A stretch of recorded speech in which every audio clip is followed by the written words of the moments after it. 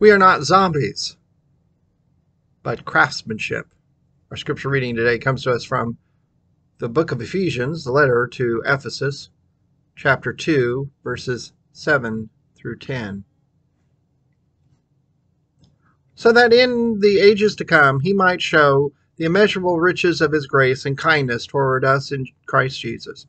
For by grace you have been saved through faith, and this is not your own doing, it is a gift of God, not the result of works, so that no one may boast. For we are what he has made us, created in Christ Jesus for good works, which God prepared beforehand to be our way of life. Ephesians is purported to be written by the Apostle Paul, but the language of Ephesians is different than the seven official letters of Paul. So it's someone that's in thinking the similar ways as Paul, but elaborates greatly on Paul's existing work. And chapter 2 is a beautiful unfolding of the status of us who were frankly described at the beginning of the chapter as alive but dead. Dead to our sins is, is the description made to us. We were living life, but we weren't living in a relationship with God. Sort of like zombies, alive, but not alive to the fullness that could be expressed with a relationship with God. And clearly, what has happened is through the resurrection of Jesus Christ, we too can obtain this new life. We can grab a hold of becoming a new creation. And that God did this. It wasn't for us, wasn't our doing. We can't do this kind of work. God did this.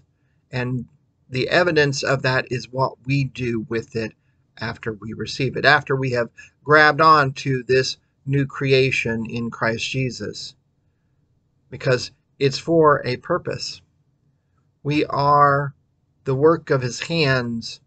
We are being recrafted, so to speak. And the words here are associated with poetry, that we are poetic in that sense of creativity now imbued in us to do the good work that God has prepared for us to do.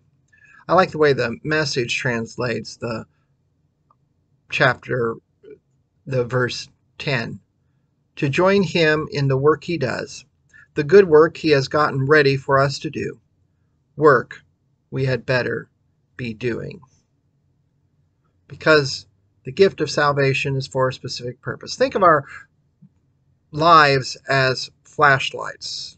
Now, we're useless without batteries. A flashlight that's basically a dead object without power of some sort. Think of God as that power source has been installed in us. But now a flashlight's only good if it shines. And now we have the ability to switch on or off to do the good work that God has intended. For this purpose, we have been saved. We have been provided for, and whatever God is calling us to do, God will give us what is necessary to complete it. Now, that doesn't mean that we get to do whatever we want to do. It's more a case of the work that God calls us to do will have the provisions necessary to be accomplished if we accept and do the work we had better be doing.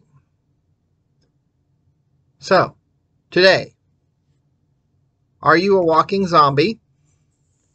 Or are you a recreation? God's poetry in motion, ready to do the good works God has already called you to do. We have better be doing it. Let us pray. God, thank you for carefully creating me.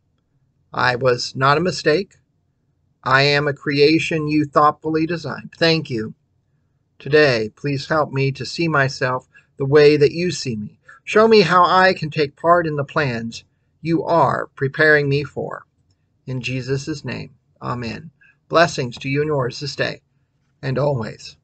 Goodbye.